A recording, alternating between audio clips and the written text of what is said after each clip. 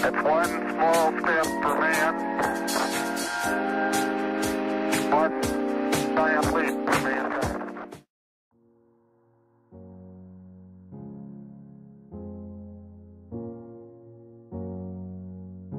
The patient lies supine with involved leg beside the examiner. The examiner holds the patient in between full extension and 30 degrees of flexion.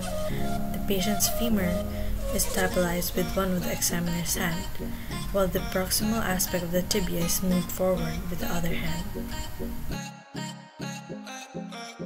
The patient is seated with the leg over the edge of the examining table. The examiner sits facing the patient while stabilizing the thigh with one hand and pulls the tibia forward with the other hand. The patient lies supine with the knee resting on the examiner's knee. One of the examiner's hands stabilizes the femur against the examiner's thigh and the other hand applies an anterior stress.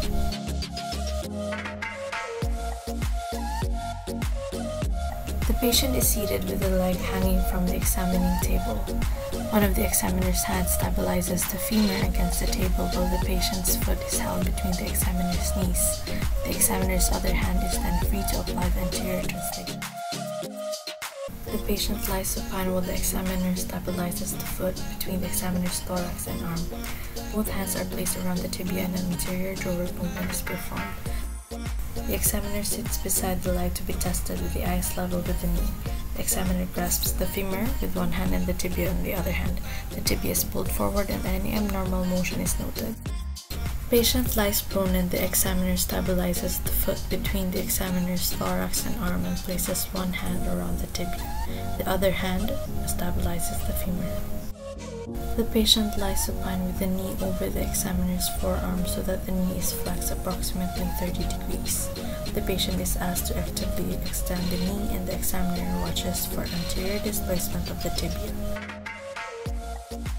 This test is the same with the modification 7, but it is carried out with the foot held down on the table to increase the pull of the quadriceps muscle.